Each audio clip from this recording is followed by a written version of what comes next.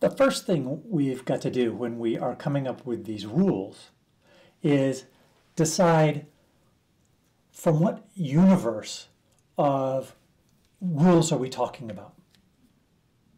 Let me give a specific example. So let's say we uh, have a different problem, right? So this problem is going to be a two-dimensional problem. And the problem is to categorize items based on these two variables. Okay, so this is one of the x's, the values in x, and this is another value in x. So x is a two-dimensional point. All right, and what we're trying to do is to categorize. We're categorize, categorizing either to be uh, x's or o's. So this is a bunch of our labeled data, and we've also got some o's. And so what we can do is, right as ways as we could deal with this, but let's say we're going to create a function of some sort. And we're going to say that this function, if you're above the function, you're an O, and if you're below the function, you're an X. So for example, we could come up with that function. So we could say f equals whatever this function is. Okay, so maybe this looks kind of like a quadratic. So it's some ax squared plus bx plus c for some a, b, and c.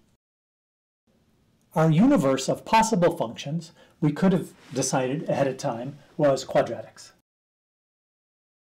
Or we could have decided it's all degree less than or equal to 10 polynomials.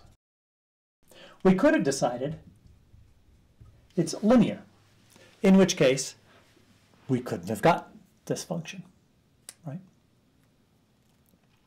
One thing I want you to notice that f is parameterized on a, b, and c. Okay? So we could actually say something like this. Theta is the combination of a, b, and c. So these are the parameters for this function, or we often call them weights. Okay, so and then we can really look at f is a function of both theta and x. So it's uh, basically f for some particular a, b, and c, and some particular x. That is our function. What learning consists of is figuring out what these a, b's, and c's are. So ahead of time, we've decided f is of this particular form. It's going to be an x squared plus bx plus c.